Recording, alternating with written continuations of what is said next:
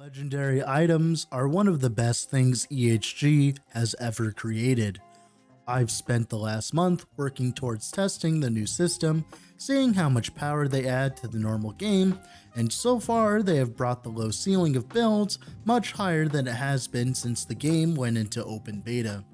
This video, I want to talk about them more, and their implications of the future of the game, and of course showcase some of the insane gear I've made since then.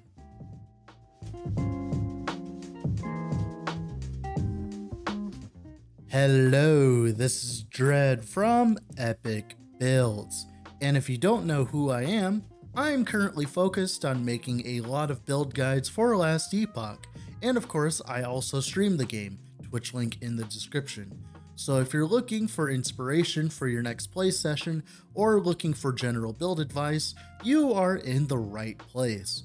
If you end up enjoying the video, I'd consider leaving a like on the video and subscribing to the channel, as this is one of the best places to find Last Epoch content.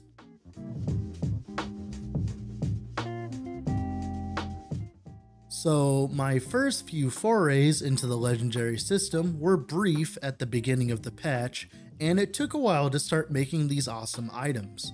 After living and breathing the game for the last month and a half, I have collected a large hoard of legendary potential items, including but not limited to two 3 LP Bleeding Hearts, one 3 LP Soulfire, one 3 LP Stormclaws, and a lot of 1 LP Gambles and Movement Speed Boots.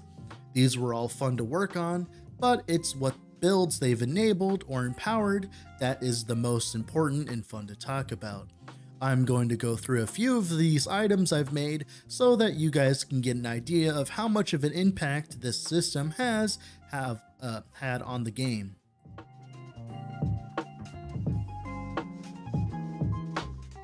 The first item I will showcase is a 3 LP Bleeding Heart I had made recently. It has T5 elemental dot percentage, T6 elemental damage percentage, and T5 necrotic resistance. Bleeding Heart was one of those items before patch 8.4, which was mandatory for a large majority of builds, but was always a pain to include. But now that we can get versions of it like this, it doesn't even feel bad to use. If anything, it just feels rewarding being able to slap this on any Frostbite, Electrify, Ignite, or any LE Dot skill like Judgment or Holy Trail, it means that the low ceiling of builds that were not quite good enough before, like Ignite Sorcerer, like I proved in one of my recent uploads, it gives all these builds that were previously a terrible a new breath of fresh air.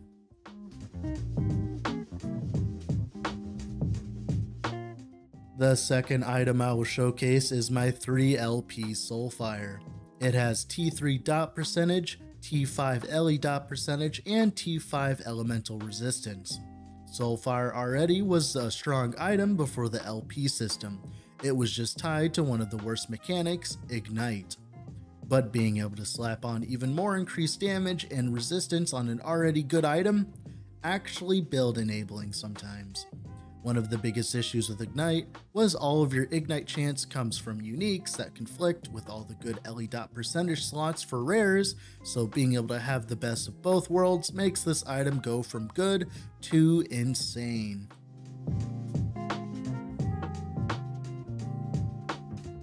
The third showcase is my Saurian Step with T5 movement speed on them. In the past, a lot of builds were forced to use unique boots to function, and they also couldn't freely run silver rings most of the time. But being able to have double movement speed boots like this, 51% to be exact, it means that we have all the mobility we would ever need to push monoliths faster than we ever have before. This combined with pairs of boots that have low MS bases like Morning Frosts or Dark Strides, this can get really crazy really quickly. The last legendary I'm going to showcase here is an Arboreal Circuit with T6 minion damage, T5 minion health, and T5 necrotic resistance.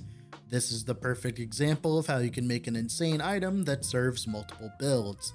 This ring could be used on almost any minion build, and it's just a minion ring with 12% extra movement speed on it. Minion builds are notoriously slow, so having extra mobility like this can lead to builds that move much faster, dodge attacks faster, and push corruption even faster. This is by far one of the best items in my inventory currently.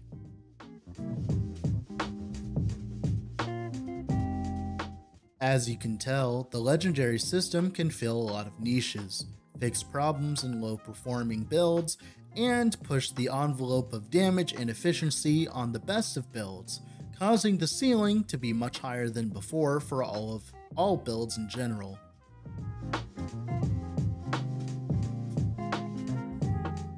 The last thing I will touch upon here is just how fun the mechanic actually is.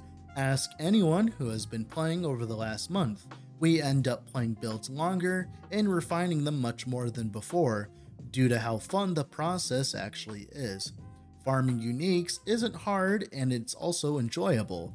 Exalted farming in dungeons is mental right now, and boss kills are a dime of dozen when you've pushed high corruption. So not only is the process of making them fun, but also the process of getting the items in the first place is fun as well. EHG really hit it out of the park with this system.